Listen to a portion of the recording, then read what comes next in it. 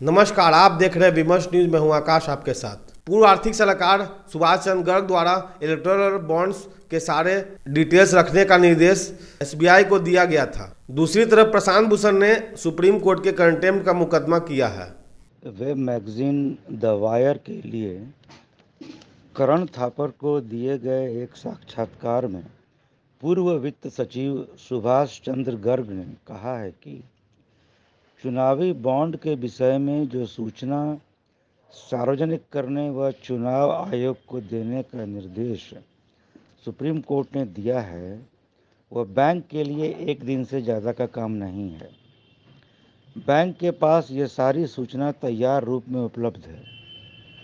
चुनावी बॉन्ड जब पहली बार सामने लाया गया था, उस समय श्री गर्ग आर्थिक मामलों के सचिव थे।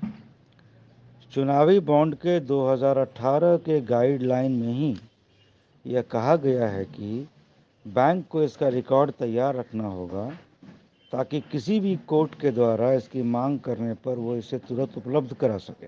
ज्ञातव्य है कि सुप्रीम कोर्ट के निर्देशानुसार स्टेट बैंक ऑफ़ इंडिया ने 6 मार्च तक चुनावी बॉन्ड का विवरण चुनाव आयोग को नहीं दिया और इस काम को करने की तारीख 30 जून तक बढ़ाने हेतु पिटिशन दिया है। पर कोर्ट ने अभी इस पर सुनवाई के लिए कोई समय तय नहीं किया। इस बीच एडीआर ने एसबीआई के खिलाफ अवमानना की अर्जी दाखिल की है। एडीआर की ओर से प्रख्यात वकील प्रशांत भूषण ने यह अर्जी दी है।